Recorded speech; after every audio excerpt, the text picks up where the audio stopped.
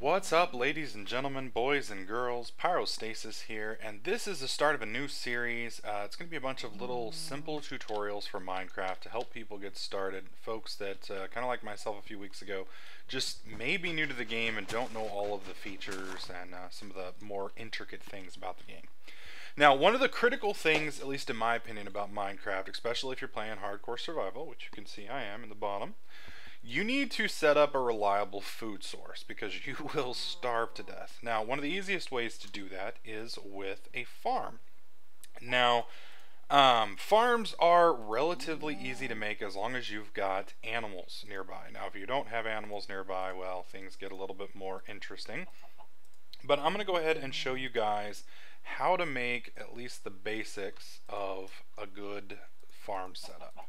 Now, to start off, you need fences. Um, you can't really raise and you know breed animals if they're constantly running off. So, to make a fence, and I'll go ahead and cover that real quick. Got a little turned around there in the snow.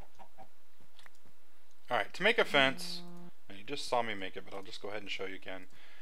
You have to have little sticks right there, and then if you want to make a gate, which we will, you want to have the center here covered. There we go.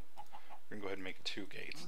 Now you're going to need a gate so you can get in and out. because um, you're going to want to make sure that the little baddies can't leave, but at the same time, you're going to need to be, like if you have chickens, you need to be able to get in there so that you can uh, get their eggs and so that you can hatch more chickens.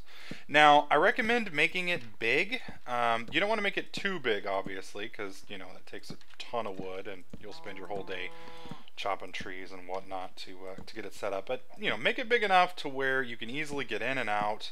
Um, that the, the, little critters have plenty of room to roam because once you start breeding these guys, um, it, it gets rather big. And it's pretty easy to construct. You just set it up like normal. Now, that didn't quite work how I expected it, but that will do. So I've got my nice little setup here. We can come in and out here fairly easy etc., etc. So that's how you construct a fence. And one thing to notice, you can't jump over the fence. The fence has a 1.5x height.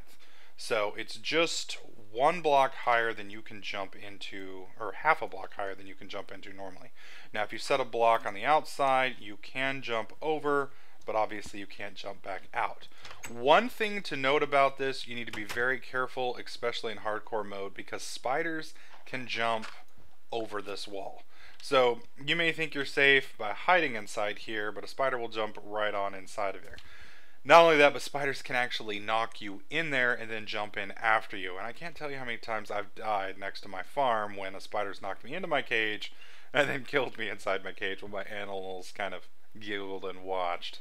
So be careful with that, but that will get you started with the gates, that gets you started with the fence, and I'll cover how to fill this up here in my next video. So hope you guys are finding this series helpful.